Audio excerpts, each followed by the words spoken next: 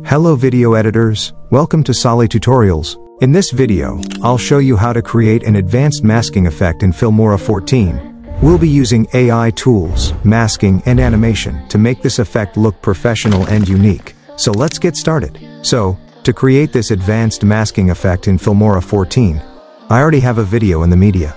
I drag and drop it onto the timeline. In the preview you can see two girls sitting on the beach looking at the sea. Now I duplicate this video on the timeline and disable the one below. I double click on the duplicated video. In the video panel, I go to the AI matting section and turn on the AI portrait cutout tool. From the model settings, I choose the advanced cutout mode and wait until the background is removed. As you can see the background around both girls is now gone. Next I make another duplicate of this video.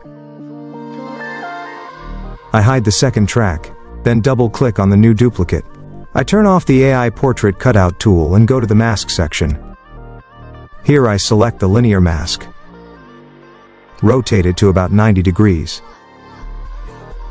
And place it on the edge of the seawater in the video.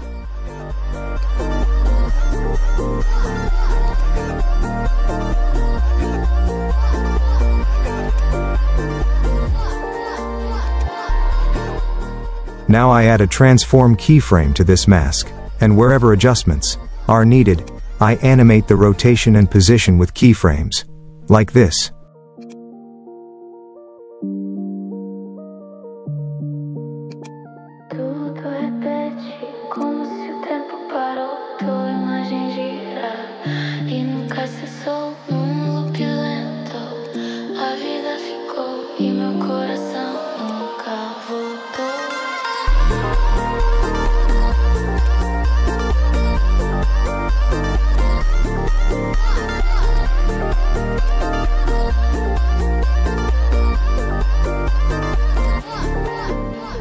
After animating the mask I go to the Media tab and import a textured stone wall PNG image and a background video from my computer.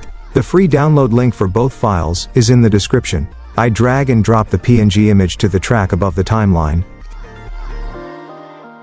then double click on it. In the basic section, I adjust the Y position so the image sits right on the edge of the seawater. I also animate the position of this stone wall PNG so it moves naturally with the video.